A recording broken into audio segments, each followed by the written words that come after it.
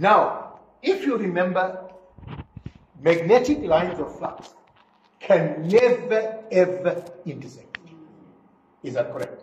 So what happens is, the main magnetic lines of flux previously, before the armature current, they were flowing in a straight line from the north pole of the field system to the south pole. Can they still do that now? No. Why not? Because of the secondary magnetic.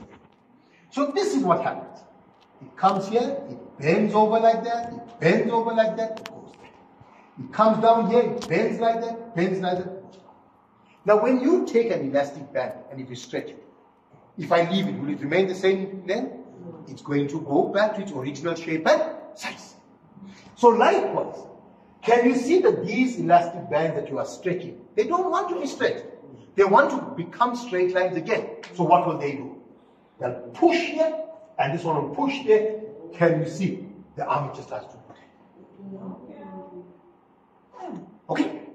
So, the principle of operation of a generator is given by what? By Faraday's law. What did Faraday's law tell us? Whenever we rotate a coil of wire inside a magnetic field, what happens? There's going to be an EMF. That's what we do. And what is the function of the EMF? To produce current. As soon as current begins to flow, what does the EMF then do? It maintains the potential difference, and it is the potential difference that now ensures that the current flows. Now, I want you to explain to me how does a motor work? What principle are you going to use to explain to me? Armature reaction. Armature reaction says it is the distortion of the main magnetic field entering and leaving the armature, and it is caused by what? The secondary magnetic field. What is the secondary magnetic field? Produced by the armature. So now, if I want this machine to turn faster or to do more work, can you see that if I increase the armature current, what happens to this distortion? It becomes bigger. It's like a bow and arrow. If I put in the arrow, pull here, leave it, the arrow will fall there. Mm. If I pull here, the arrow is going to go to the end of the blade. Do you agree? This is how you explain the operation of a DC motor. Mm. How many magnetic fields do I need? Two. Which two? The main and the secondary. Which current produces the main? Because tomorrow in speed control, I'm going to, we're going to refer to this. Which, uh, which current produces the main magnetic field? The field current. Secondary magnetic field? Okay, now, these are magnetic lines of flux. Are they vector quantity or scalar quantity? Magnetic lines of flux always flow from the north to south. Around a conductor, hold the conductor in your right hand.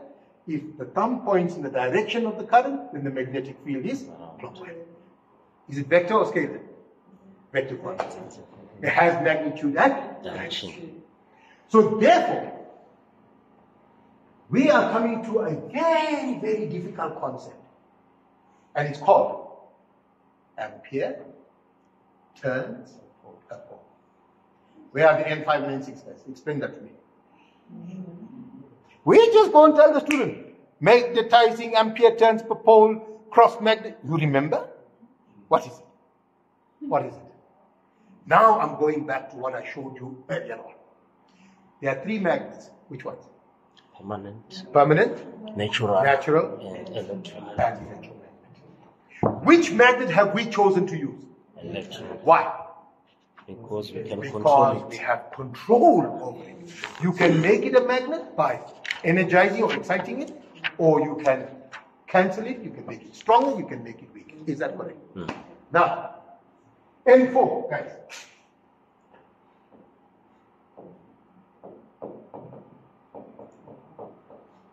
In an electrical circuit, what is the function of the EMF? To maintain the potential. What's the function of the EMF? To produce current flow. Current flows in an electrical circuit. What do you think magneto motive force is? Think of EMF and relate it to a magnetic circuit. EMF produces current flow. What flows in a magnetic circuit? Magnetic lines of flux. So tell me the definition, what, what the function of MMF? Produces magnetic flux. You see, in the case of a permanent magnet, it already has its amount of magnetic flux. In the case of a natural magnet dug out of the ground, it already has. But does a coil of wire produce magnetic flux? No. When will it produce magnetic flux? Only when you pass current. How do you make it stronger? Increase the current or increase the number of turns. Do you agree that MMF is I times N? Yes. Right. Now, this N, what does it represent? It represents the number of turns in the coil on the field, field coil. How do you measure current? In what unit? Yes. How this N is what? Ten. Give me another name for MMF.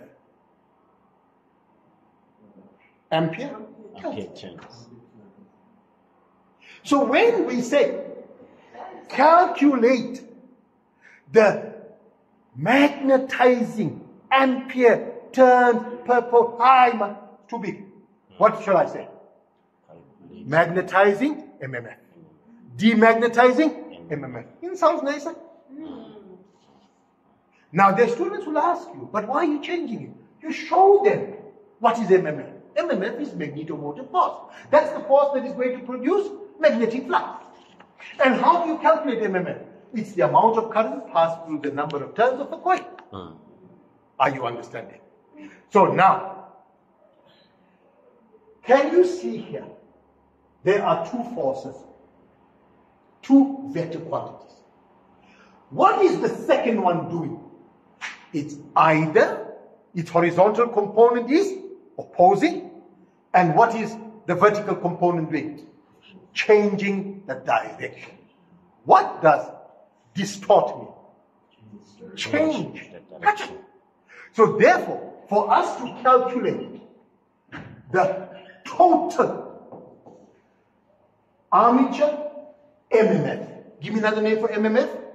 Ampere. Amperes turns per.